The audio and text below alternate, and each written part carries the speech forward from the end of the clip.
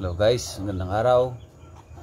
Ngayon dahil ika 3 days na ng ating mga supling na bisero, papainumin na naman natin sila ng charan. Ayan po, painumin natin sila para sila ay maging healthy at malakas. Kasi po 3 days na sila para lalo silang lumakas dumede para pagka uwi ng nanay nila, dede sila ng dede, hindi sila hindi sila magkeme-keme sa dede. Kaya ayan po. Inumin muna natin sila ng tiki-tiki. Shake muna natin. Sabi akala sa butika kanina ang pagbili ko ng tiki-tiki kung ilang araw na raw yung bebe baby. Sabi ko 3 days pa lang. Kaya ito ang binigay. Ayan po. Yan ang ating papainom sa kanya one syrup ano na lang one, one syrup lang. Parang ito isang ganito lang. Para lumakas ang ating alaga. Pang, pang, pang suporta sa ating mga alaga.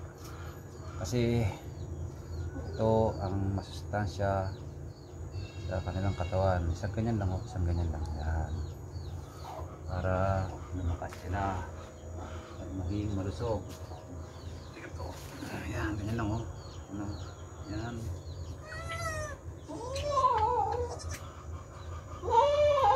Yun, push. Sana naman.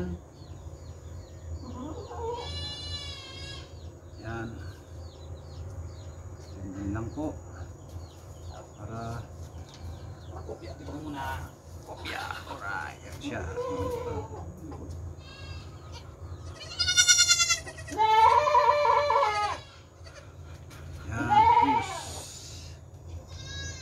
Lang kadali.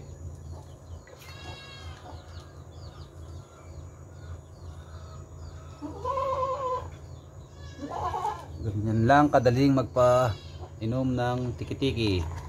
Napakadali lang. Oh, after 3 days na naman yan kada pangatlong araw hanggang hindi nila maubos ang isang bote 80 pesos lang to para sa kalusugan ng ating mga alaga.